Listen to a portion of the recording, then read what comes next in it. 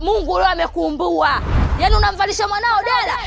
Sijavaa dela, Subhanallah, nafanya yote kwa sababu nakupenda. Umemaliza? yaani umtiti ndo kwanza umeanza. Huyo mama yako na wako mimi siwaogopi tena, wakitoka ndo itakuwa vizuri, ni wachambe nao hivyo hivyo tena, nitawatia ngumi ndo hivi